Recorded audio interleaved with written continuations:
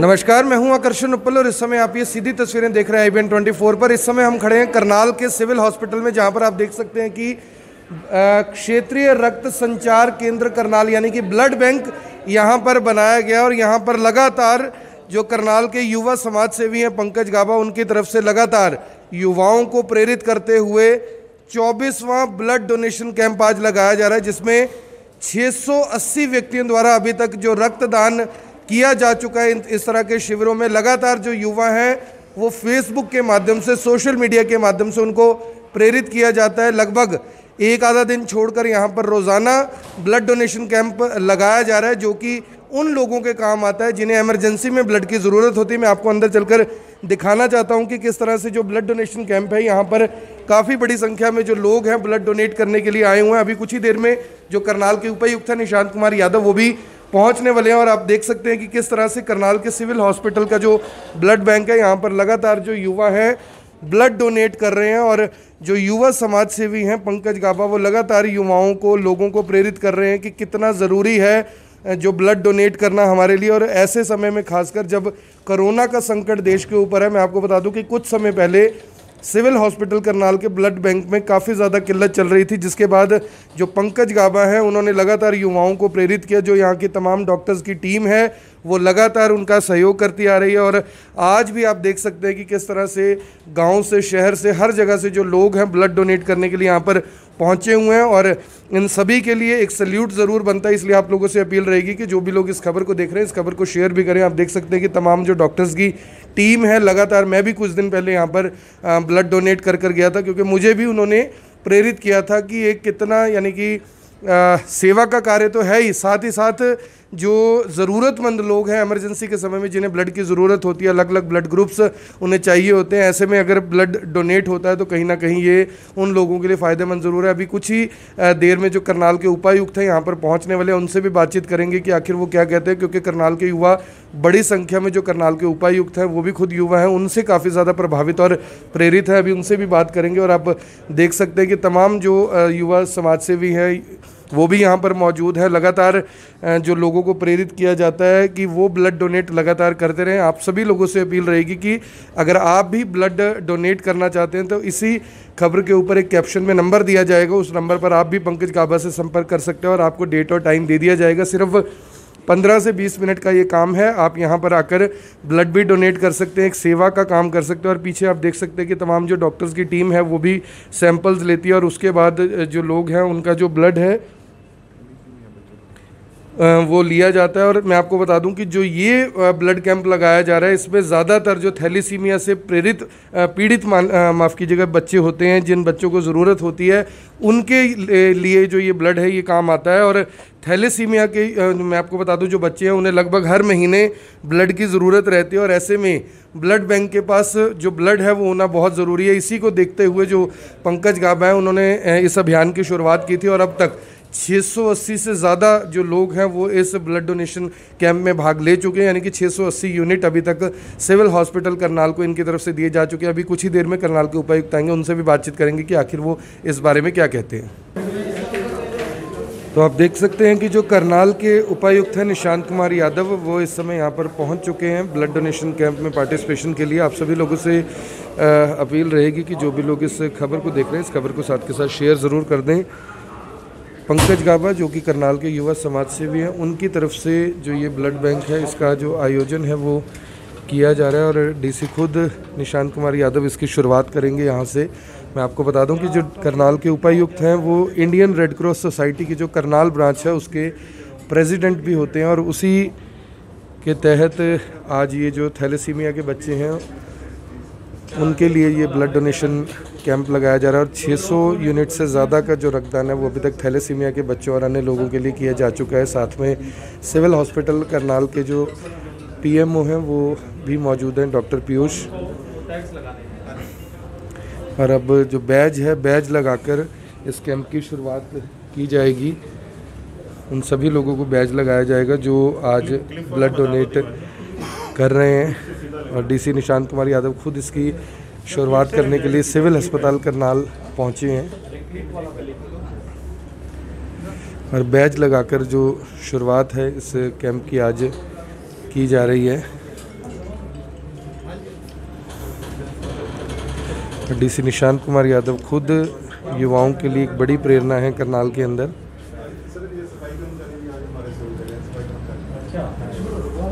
एक बाबा रामदास विद्यापीठ स्कूल है उनके भी आज ट्रांसपोर्ट के जितने भी हैं, हो। आप देख सकते हैं कि पूरी जानकारी ले रहे हैं कैंप की और अभी उनसे बातचीत करेंगे कि क्या कुछ युवाओं के लिए कहते हैं और एक और जो युवा हैं उनको यहाँ पर बैज डीसी लगा रहे हैं। और नगर निगम के सफ़ाई कर्मचारियों को भी आज इस कैंप में जोड़ा गया। अपने आप में एक, यानी कि उत्साहवर्धक ज़रूर है कि किस तरह से जो करनाल के युवा हैं लगातार ब्लड डोनेट करने के लिए आगे आ रहे हैं। अभी जो डीसी है निशांत कुमार यादव, उनसे भी बातचीत करेंगे कि क्या कुछ वो कहते हैं। और और भी जो लोग हैं, अन्य लोग हैं, यहाँ पर बैठे हुए हैं और सभी से जानकारी ले रहे हैं कि कितने लोग आज ब्लड डोनेट कर रहे हैं।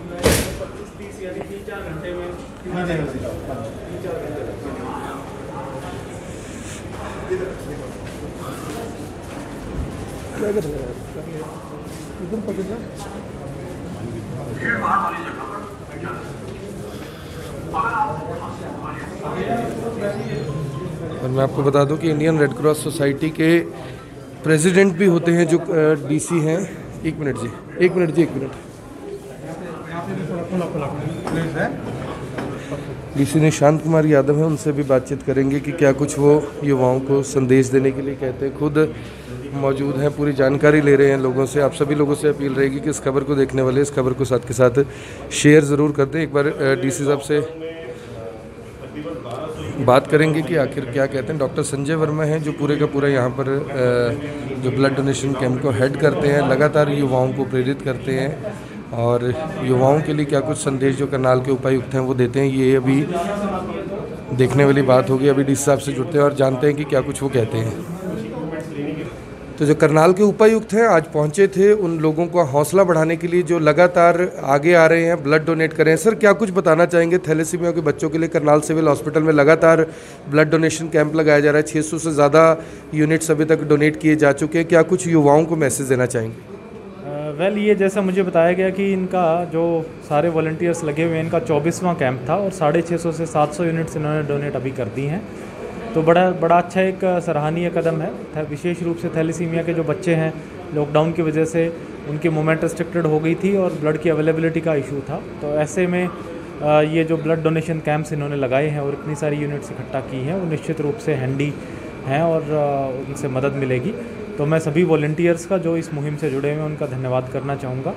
और बड़ा अप्रिशिएटिव अफर्ट है और विशेष रूप से लॉकडाउन के समय में जिस तरीके से लोगों ने साथ जुड़ कर के और प्रशासन की मदद की है वो सही में काबिल तारीफ़ है। सर कुछ और जैसे लोग अभी देख रहे हैं आपको युवाओं को क्या कुछ मैसेज देंगे कि ब्लड डोनेट किस लिए करना चाहिए और किस तरह के लोगों को ये काम आता है? क्योंकि एमरजेंसी में देखा जाता है कई बार ब्लड अगर प्रॉपर ना हो स्टॉक के अंदर ब्लड बैंक में ब्लड ना हो तो कई लोगों की जान भी चली जाती है। वेल बिल्कुल निश्चित रूप से ब्लड डोनेशन समय समय पे करना चाहिए और जिस तरीके से हमारे हेल्थ एक्सपर्ट्स बताते हैं कि अगर प्रॉपर नॉर्म्स के तहत किया जाए प्रॉपर ड्यूरेशन मेंटेन रख के किया जाए तो इसका कोई भी साइड इफ़ेक्ट या कोई नेगेटिव इफ़ेक्ट नहीं है।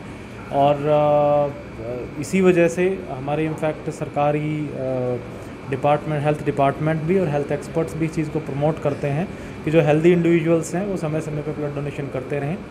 क्योंकि उनकी बॉडी में तो ब्लड की रिकवरी रिकवर कर जाती है और साथ में जो हमारे नीडी लोग हैं उनको इजीली ब्लड की अवेलेबिलिटी हो सके, इसके लिए बड़ा ज़रूरी है। मैं लोगों को प्रोत्साहित करना चाहूँगा कि समय समय पे आप as per the norms blood donations करते रहें। सर, आप जो रेड क्रॉस सोसाइटी है करनाल की उसके प्रेसिडेंट भी हैं तो रेड क्रॉस के लिए क्या कुछ कहना चाहेंगे? क्योंकि समय समय पर जब भी ज़रूरत रही है, देश को रेड क्रॉस आगे आकर लोगों की सेवा के लिए तत्पर रहती है, क्या कुछ मैसेज देना चाहेंगे? बिल्कुल रेड क्रॉस का जो एक एस्टेब्लिश करने का मेन उद्देश्य था, वो ह्यूमैनिटेरियन सर्विस था, मानवता की सेवा था, और वो निश्चित रूप से इस चीज़ में बड़े ट्रेंड भी हैं, उनके जो कर्मचारी हैं हों, चाहे वॉल्टियर्स हों, और जब हेल्थ क्राइसिस कोई भी आता है, जैसे कोरोना आया हुआ है, उसमें विशेष रूप से उनकी ज़िम्मेदारी बढ़ जाती है, और करनाल में उन्होंने अपनी इस रेस्पॉन्सिबिलिटी को बड़ा अच्छा निभाया है, ना केवल ब्लड डोनेशन और इस तरह की एक्टिविटीज़ में, बल्कि जो हमारी कॉन्टैक्ट ट्रेसिंग है या और भी हेल्थ रिलेटेड सभी चेकअप्स हैं डोर टू डोर स्क्रीनिंग है, उसमें भी उन्होंने अपना पूरा सहयोग दिया है। तो हमारे रेड क्रॉस संस्था ने ज़िले में बहुत अच्छा कार्य किया तो ये थे करनाल के जो उपायुक्त हैं, निशांत कुमार यादव, लोगों को अच्छा एक मैसेज दिया, प्रोत्साहित भी किया कि मोटिवेट भी किया कि ज़्यादा से ज़्यादा जो लोग हैं, वो ब्लड डोनेट करने के लिए आगे आएँ और आप सभी लोगों से अपील रहेगी कि जो भी लोग इस खबर को देख रहे हैं, इस खबर को साथ के साथ शेयर ज़रूर कर दें। तो आप देख सकते हैं कि जो करनाल के उपायुक्त हैं उन लोगों को एक सर्टिफिकेट भी दे रहे हैं कि उन्होंने ब्लड डोनेट किया है और इस तरह से कहीं ना कहीं लोगों को प्रोत्साहित किया जा रहा है मोटिवेट किया जा रहा है कि वो आगे आकर ब्लड डोनेशन कैंप में ज़रूर पार्टिसिपेशन करें और बड़ी संख्या में जो लोग हैं लगातार ब्लड डोनेट करने के लिए आगे आ रहे हैं। युवा जो समाज सेवी है, पंकज गाबा, उन्हीं के नेतृत्व में लगातार ये ब्लड डोनेशन कैंप लगाया जा रहा है। चौबीसवां ब्लड डोनेशन कैंप है और 600 से ज़्यादा यूनिट अभी तक दिए जा चुके हैं और आगे भी जो ये अभियान है वो जारी रहेगा और करनाल के उपायुक्त खुद लोगों को प्रोत्साहन करने के लिए लगातार इस तरह के जो कार्यक्रम हैं उनमें जाते रहते हैं और बताते हैं कि किस तरह से जो युवा हैं वो आगे आकर जो ये कमान है ये संभाल सकते हैं। तो अंत में हमारे साथ जो इस ब्लड डोनेशन कैंप को चला रहे हैं, युवा समाज सेवी हैं पंकज गाबा जिनका युवाओं के ऊपर काफ़ी ज़्यादा प्रभाव है, उनसे बातचीत करते हैं, क्या कुछ वो कहना चाहेंगे? पंकज जी, क्या कुछ बताना चाहेंगे? आपने काफ़ी सारे ब्लड डोनेशन कैंप अभी तक ऑर्गेनाइज किए 600 से ज़्यादा लोग अभी तक ब्लड डोनेट कर चुके हैं। डी साहब भी आए थे और काफ़ी तारीफ़ की कि इस तरह के जो कैंप्स हैं, युवाओं को लगाते रहना चाहिए। क्या कुछ मैसेज देना चाहिए? मैं एक, सबसे पहले तो डीसी साहब का धन्यवाद करना चाहूँगा, जो, जिन्होंने आकर ये रक्तदाताओं का हौसला बढ़ाया। और डीसी साहब एक युवा अधिकारी हैं, उन, उनसे करनाल की जनता बड़ी प्रेरित है, खास तौर पे जितने भी युवा साथी हैं।